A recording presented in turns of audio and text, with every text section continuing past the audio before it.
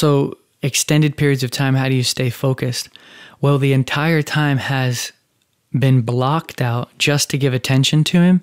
So, the entirety of the time is consistently letting, relinquishing my attention up to Him. So, let's say if I locked up today for six hours, um, I would come in in the morning in my heart. I would make a divide. This is not time to think about ministry.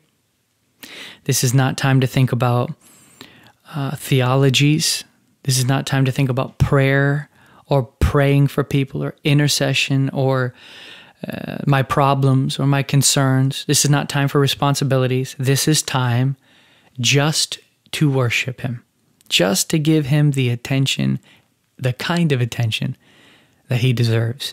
And by blocking that out, making that decision in your heart, already 90% of your problems are gone.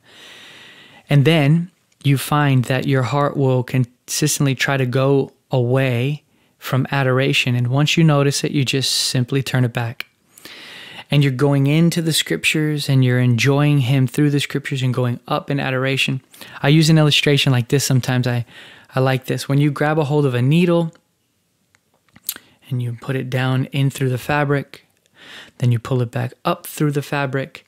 This is how you sew into something. And so it is with how God sews into you. You cling to the needle by adoration. I worship you. You go down into the text by reading the scriptures. Then you pray the text back up to Him. And this is how God sews you to Him. And notice you never let go of that needle when you go in or you go up. It's all adoration that clings the soul to God. So I would encourage you this is the key to longevity. This is the key to extended times. This is the key. Adoration. I worship you. I give you all my attention and just linger right there and then follow the sweet movings of the Spirit.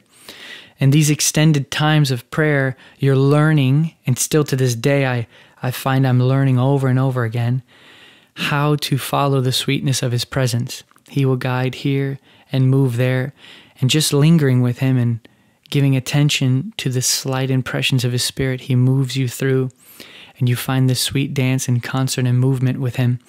And so, uh, all this to say, the key, I believe, is pulling away from everything else and giving Him everything and just lingering there. And if you find yourself drifting, just come back. I worship you, Lord. Let adoration be what your uh, let adoration be your clinging to Him.